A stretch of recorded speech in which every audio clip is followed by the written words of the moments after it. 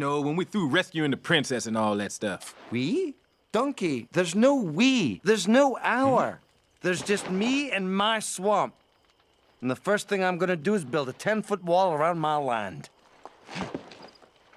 You cut me deep, Shrek. You cut me real deep just now.